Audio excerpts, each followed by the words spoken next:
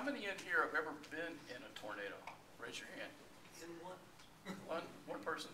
Uh, we can bring the lights back up, but it, it's not necessary to be down. I don't want everybody to sleep. Um, one person? Um, how'd you feel about it after you came out? Scared. Yeah. It seemed like it was, uh, you see on TV, it's surreal when you go through it. I was just gonna ask you how, It, um, Mindset. when it happened, you have a whole different mindset after you've been in a tornado, right? Yeah. Than when you, than before you ever were in it.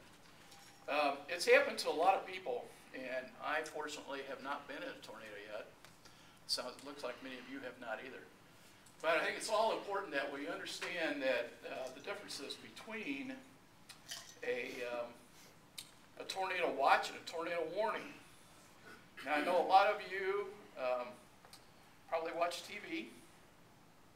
How many have a cell phone? Everybody, right? Almost everybody. These are wonderful devices for early warnings of tornadoes. Uh, I'm going to talk about some other devices you can buy today too to have in your house or your business or wherever. But uh, you know, a TV today is probably one of the most important things to have in terms of an early warning device. And uh, there's another thing that's called situational awareness that Dave likes to talk about all the time, and I'll use I'll coin his phrase, situational awareness for tornadoes.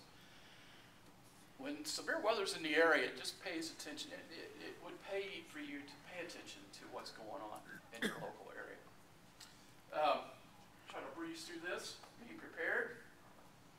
And um, what is the difference between a watch and a warning?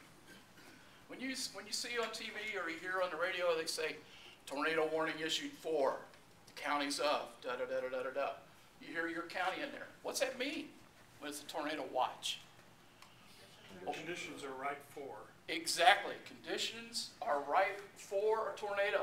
What has to happen before a tornado, though? A severe thunderstorm.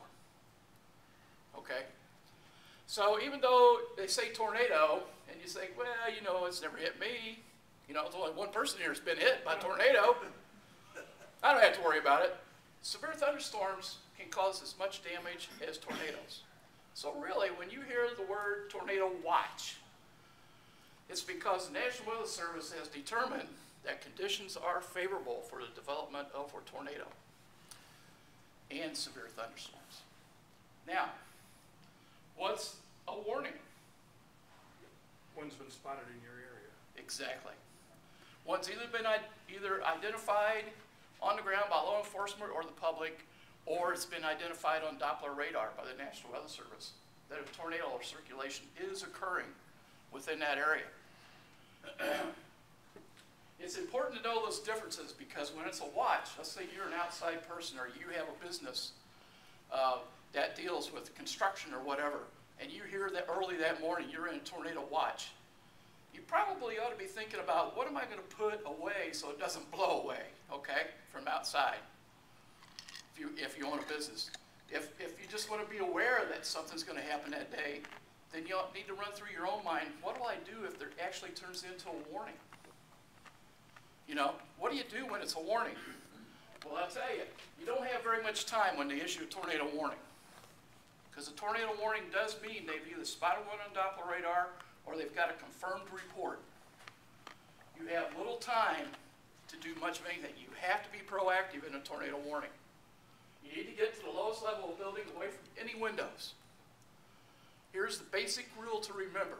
Put as many walls and, and things between you and the outside that you can if you're in a building and get to the lowest level.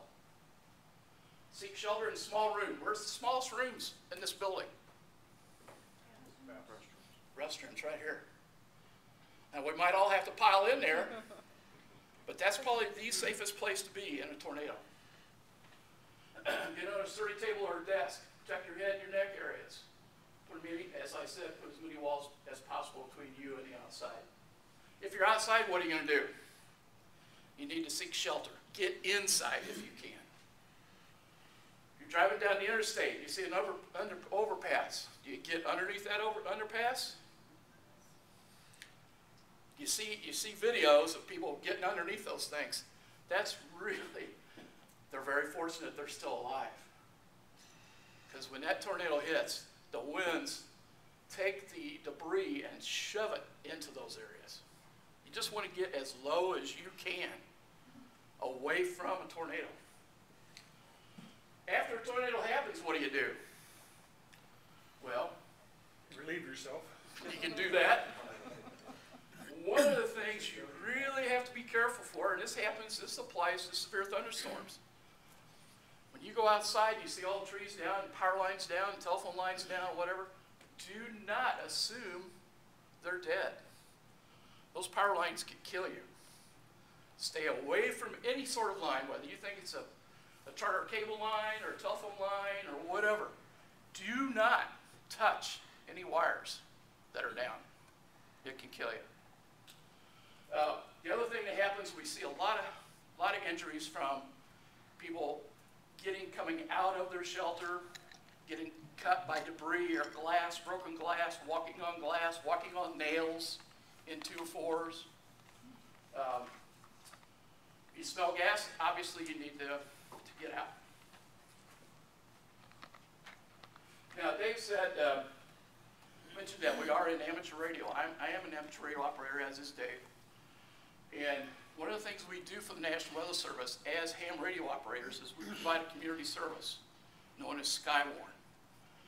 What we attempt to do is we've been trained in looking at cloud formations that form before severe thunderstorms and tornadoes. We report that information via ham radio to the National Weather Service. We have a direct link to them via ham radio. So one of the things we do when severe weather happens, or Madison County actually goes under severe thunderstorm warning, is we activate what's known as a net, a Skywarn net.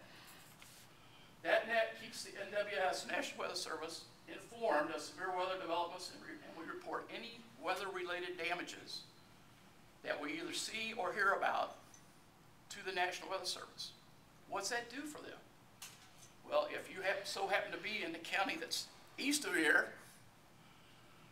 and we're reporting stuff in Madison County, Bond and Macoupin County really appreciate that because they then get an advanced warning of how severe that weather is.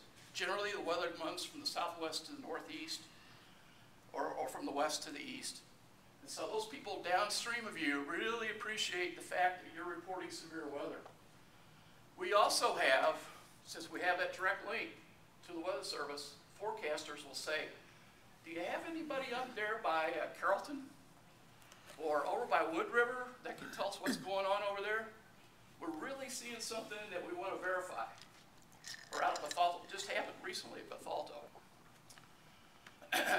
we had spotters in the area. What are you seeing, guys? They let us know. We relayed directly to the National Weather Service. After we relayed to them, we saw lowering of the cloud base. They put out a severe thunderstorm warning for northeastern Madison County. I didn't bring any pictures with me, but that, that storm actually produced some hail. So, every once in a while, you'll see these amateur radio guys that'll be out alongside the road someplace, probably stop with their, uh, with their radios. If you're a scanner listener, you have a scanner, you want to listen, our primary net frequency is 145.23. Dave provided you today with some handouts that has all this information in it. So if you get home and you want to program your scanner, you can do so. What am I trying to say? Well, there's no excuse for not being prepared today for severe weather. You have absolutely no excuse. Uh, you've got weather radios you can buy. You've got smartphone apps. You can be, you can sign up for Code Red. Code Red issues you and tells you there's a severe thunderstorm warning in your area. You have TV, AM, FM radio, internet sources, scanners, and just basically common sense.